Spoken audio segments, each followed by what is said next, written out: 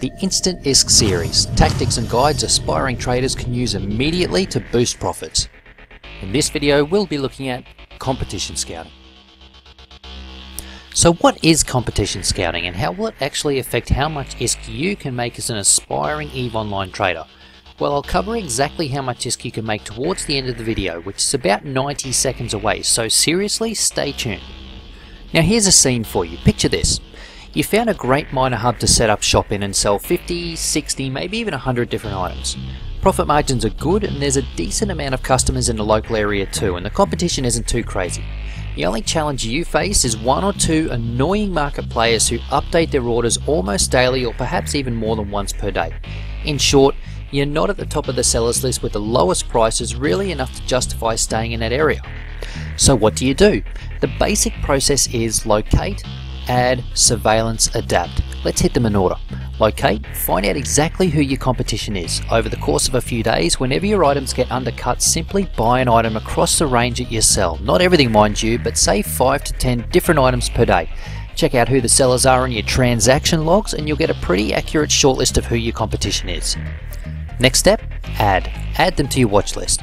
Just right click their name in the transaction window and follow the menu down like so until you find and select add contact check this box and then hit the add contact button. Why do this? Because they'll pop up in your lower right corner when they log on and log off. You'll be able to look at your contacts list and see who was online at any given time.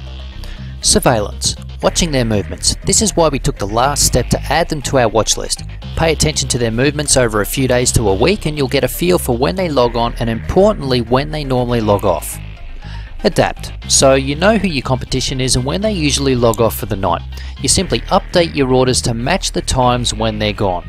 This allows you to stay on top of the sellers list sometimes for many more hours in the day and that absolutely makes a difference to your bottom line. How much difference? Well, this is an art and not an exact science, so there's a lot of variables and grey areas, but just relax before you start trolling in the comments section below and we'll look at some figures to get a general feel for things. Let's use the Eve Mogul premium trading tutorials as an example. Towards the end of that video program, after 34 days and starting with only 10 million ISK, we were pulling in around 1.5 billion ISK in profits per month. So let's assume that if we figure out the times the competition logs off for the night, we reset our orders to be top of the list, we might get another 8 hours on top before the competition undercuts us again. 8 hours is a third of a day, so using some dodgy quick maths, we could assume our profits could increase by a third. Let's say you only have to do this on one of the three minor hubs you're active in, so your one third increase would become one ninth profit increase. Call it one tenth to push a little closer to worst case scenario. So a 1.5 billion profit, that means we'll be pulling in an extra 150 million ISK profit per month. Stretch that out over 12 months in a year and you're up to 1.8 billion extra profit a year or 3 plexes plus change, and that's winning. Sure, it's not an exact science and you may not get a bottom line increase of 10%, but if you follow the tactic above, you'll absolutely end up with more cash in your account. If you liked the video, I'd appreciate a thumbs up. Subscribe to the channel as I'll be bringing out more Instant ISK videos just like this one, and also check out the blog and video series for aspiring traders at evemogul.com.